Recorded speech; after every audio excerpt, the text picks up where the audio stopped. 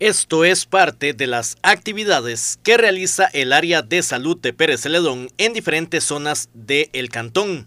Este viernes 6 de octubre, 55 adultos mayores se apuntaron a tener un día diferente en una iniciativa de Leváis de Río Nuevo junto con el Comité de Salud. Música, comida, charlas, baile, ejercicio fueron parte de la actividad que se realizó en el Salón Comunal de Santa Rosa.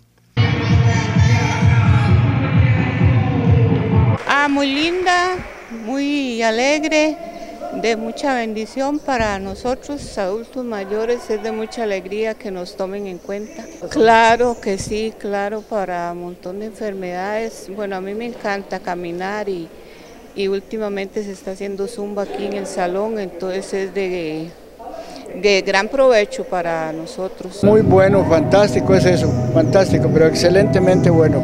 ¿Qué es lo que más le ha gustado hoy? Cuénteme.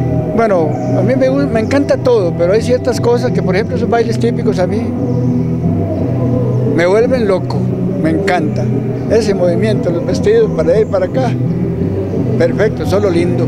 Esto es parte del mensaje preventivo que envían los encargados que buscan inculcar que la salud va más allá de medicinas y centros hospitalarios. Nosotros estamos celebrando el mes del adulto mayor, que es el mes de octubre. El primero de octubre es el día específicamente, pero todo el mes tenemos actividades en el área de salud.